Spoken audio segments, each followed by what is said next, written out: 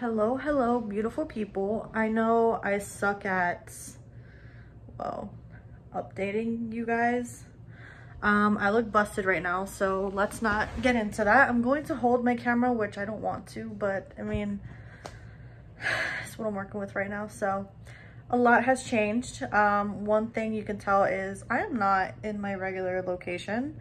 I actually moved out of my apartment with my mom.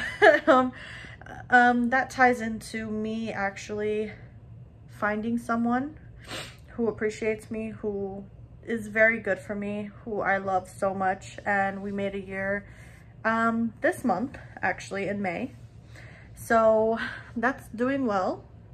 Um, I'm a stepmom now, which is crazy for me to even think, but you know, changes happen.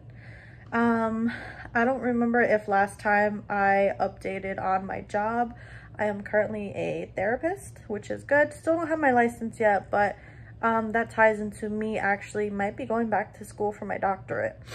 I have my interview on Wednesday and I'm going to see if I wind up going back to school. Now, with that being said though, this background is going to change again, back to what I originally had um, because we might be moving in with my parents. Sorry, my thing just like went off.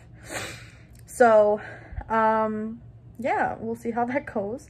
This is just a quick update. Um, I want to come back on here some more and just do some like fun challenges and stuff, maybe with my boyfriend, or maybe just by myself answering questions. But yeah, so with that being said, I hope you guys have a wonderful day, um, a wonderful weekend. This is on Memorial Day weekend, so hopefully there's a lot of barbecues and spending time with your family. So, all right, signing out.